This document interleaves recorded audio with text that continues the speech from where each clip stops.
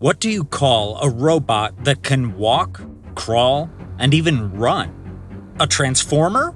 No, it's Boston Dynamics' new Atlas. With a team focused on pushing humanoid robotics to their limit, the new generation of Atlas is more agile and much better at imitating humans than ever before. Billions of dollars going to produce state of the art hardware and mechanics that rival our best athletes, it's understandable that Atlas is creeping some people out, and they might be onto something. But that begs the question are we making our lives easier or simply building physically superior replacements? If you've seen my earlier video on AI robots, you've seen me cover Boston Dynamics' impressive Atlas bot for its superior mobility and athleticism. However, way before their latest model could perform parkour, the first generation of Atlas robots were clunky inventions that needed an external power source and struggled with basic movements. In fact, Boston Dynamics' focus in the 80s and 90s when they first launched were mostly quadruped robots with clunky frames that ran, hopped, and jumped. However, the team received some mainstream fame and recognition in the early 2000s with inventions like the Cheetah and Spot Mini that went viral. At record speeds of 28.3 miles per hour, the Cheetah robot easily became Boston Dynamics' fastest running quadruped, making it 0.5 miles per hour faster than Usain Bolt's fastest 20 meter sprint. Although this feat was in no small part thanks to the funding the company received from the U.S. Defense Advanced Research Projects Agency, DARPA.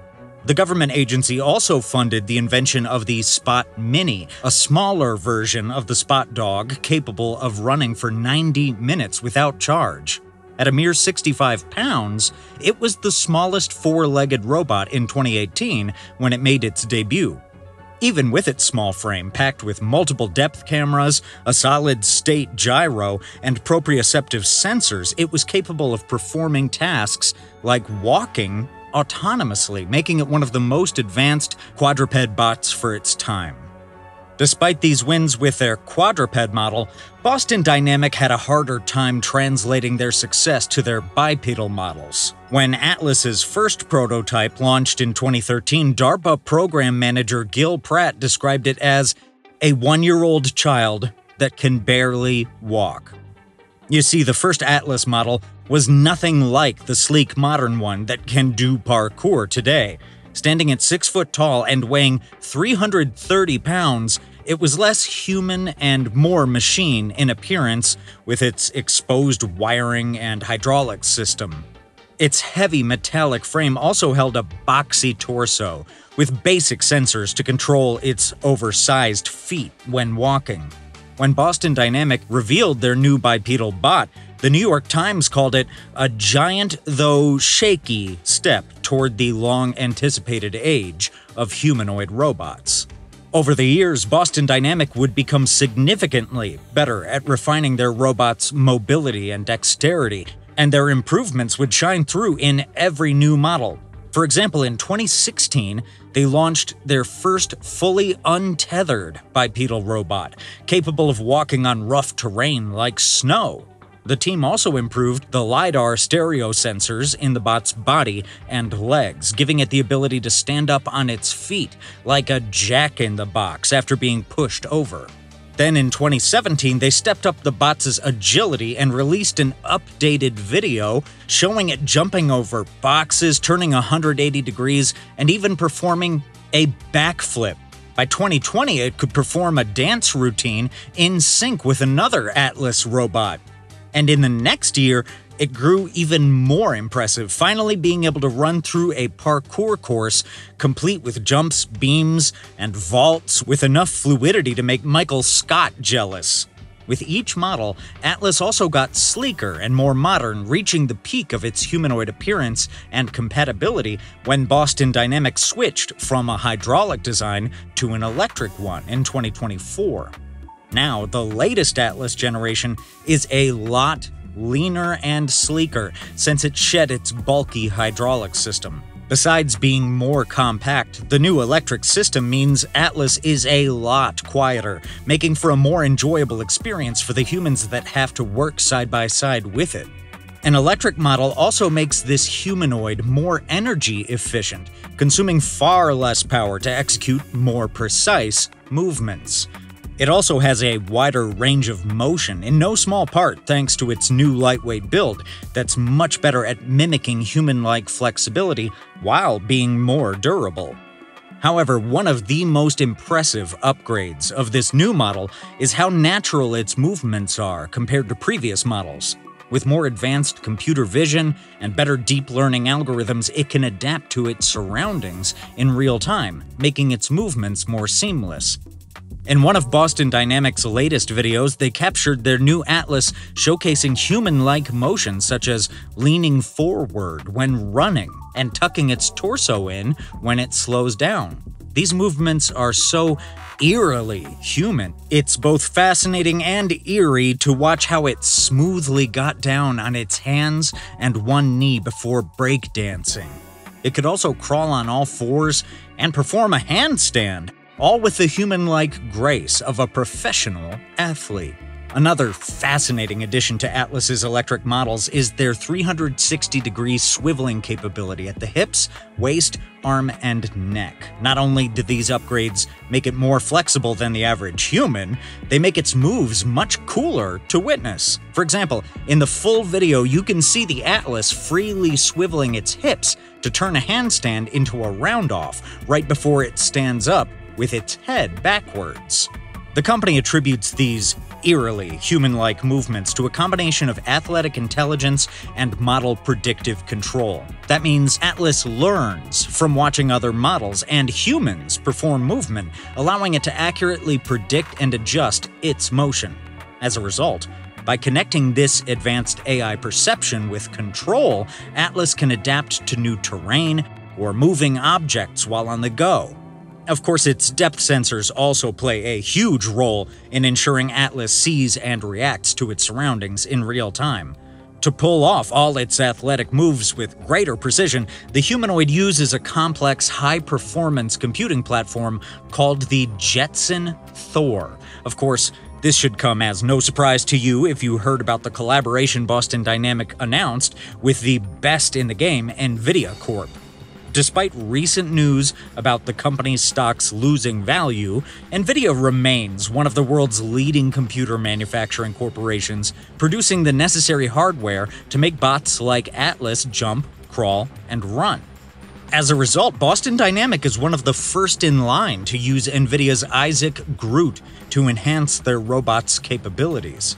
As part of that framework, the Jetson Thor comes in a compact size that integrates seamlessly with Atlas's whole body and manipulation controllers. According to the company's chief technology officer, Aaron Saunders, collaborating with NVIDIA to integrate Jetson Thor means that robot now has the highest performance computing platform behind it. Isaac Lab is allowing us to develop state of the art AI capabilities, and the early results are exciting. If you don't know, Isaac Lab is a unified and modular framework that AI robots can use for reinforcement learning or motion planning. In other words, it's kind of like a virtual reality video game for robots, complete with photorealistic scenes and fast simulations that help the bot figure out how to perform tasks in the real world. Think of it like a driving simulator before you enter a real car. The benefit of Isaac's lab is that it's easily customizable, making it cheaper and far more efficient to train robots to do things like laundry, cleaning, or even moving objects. It's also open source, so you can train your robot with the likes of Boston Dynamics' Spot and Unitree G1 to perform dexterous movements. I imagine it was through multiple simulations in Isaac's lab, Unitree Robotics was able to get their G1 humanoid to perform a groundbreaking side flip showing that Boston Dynamics' partnership with NVIDIA is vital to helping their AI powered bots achieve amazing feats of flexibility and agility. Of course, all of this is built on the back of NVIDIA's Isaac Sim, which is what allows developers to build an extensive universal scene description, OpenUSD. In other words, it is the backbone of the Isaac Labs simulator, allowing developers to simulate and test AI driven robotic solutions. But how exactly does this work? For example, let's say you're trying to train a robot to pick up a box. The Isaac Sim is responsible for creating the hyper realistic virtual environment by generating synthetic data of the object in different positions, textures, and lighting conditions. This process happens inside the Isaac lab, which provides the tools and instructions for the robot to execute the task. Together, they create a training loop with reinforcement learning to ensure the AI can perform the task in the real world. After receiving such training, bots like Boston Dynamics Atlas and the Unitree G1 are capable of performing backflips and side flips with flawless, human like grace. Beyond participating in the Robot Olympics, Atlas is primarily meant to assist in search and rescue missions, where it can move across different terrains, help with navigation, and even manipulate objects. That's why DARPA is pouring millions of dollars into improving the humanoid AI's strength, endurance, and precision in various areas. When the US government is ready to launch it, the final model should be able to carry supplies and aid first responders in disaster zones. Imagine how useful several bots like these would be in evacuating people during times of crisis, such as during the California fires or when Hurricane Milton hit Florida late last year. Besides saving lives, Atlas can also reduce workload and prevent injuries in the workplace by taking on dull, repetitive, and dangerous jobs. Boston Dynamics showcased that the humanoid robot is set to work in Hyundai facilities, helping to pick up, carry, and place objects on their assembly line, thus automating the sequencing process in their automotive manufacturing. Since Boston Dynamic released the first Atlas generation, for the most part, it has struggled with recreating fluid human like motion, and only really started accomplishing such feats in recent years. As impressive as it is to watch a machine travel across rubble, jump over obstacles, and perform tasks typically reserved for humans, it does raise multiple concerns. For example, when Boston Dynamic went fully electric in 2024, they released a video of the bot lying face down on the floor before swiftly folding its legs backwards and rising to its feet before swiveling its face and waist 180 degrees and marching forward. Clearly, the intent of the video was to show off the robot's impressive degree of freedom and mobility, even surpassing that of the average human. However, responses were mixed. In an article from The Verge titled Boston Dynamics' new Atlas robot is a swiveling, shape shifting nightmare, Jess Weatherbed called it unnerving and compared the motion to a Cronenberg body horror flick. Reactions in the video's comment section ranged from comical, with one user saying, This is the final evolution of the Pixar lamp, to others agreeing with Weatherbed by calling it nightmare inducing. Sentiments were mostly similar in one of their latest videos, released on March 19, 2025, showing how the latest Atlas robot can walk, run, and crawl using reinforcement learning captured from watching human motion and animation. Several viewers made jokes about how the humanoid's advancements in agility signaled end times, with one person joking, It's been nice watching the origin story of our apocalypse these past 20 years. Progress. And another saying, It was nice knowing all of you guys. We had a good run. On the other hand, responses weren't all negative, as some users simply acknowledged the company's progress, with one person commending Boston Dynamic by saying, That is by far the most fluid and smooth I have seen a humanoid robot walk and run. Bravo, guys. Another also said, The movements have gotten so natural, it's easy to forget the amount of work needed to figure all of that out. So, how do you feel about Boston Dynamics' new electric model? Do you envision a future where humans and their physically superior humanoid assistants live in peace side by side? Or are we truly witnessing the beginning of Skynet in real time? If so, Boston Dynamic won't be the only bot we have to worry about in a war between people and machines. With a biomimetic design, Clone Alpha's musculoskeletal and vascular structure mimics human anatomy to a startling degree. Clone Robotics has also begun accepting pre orders, so there's a possibility they might hit the mainstream market at the same time as Tesla's equally impressive humanoid Optimus. In 2024, the company's CEO, Elon Musk, announced on his Twitter page that Tesla will have genuinely useful humanoid robots in low production for Tesla internal use next year and, hopefully, high production for other companies in 2026. That means it's reasonable to assume that before the year 2030, we can expect these humanoid bots to become a noticeable part of the workforce in high tech and forward thinking companies. Other companies that are also making impressive strides with their humanoid robots include Apptronik.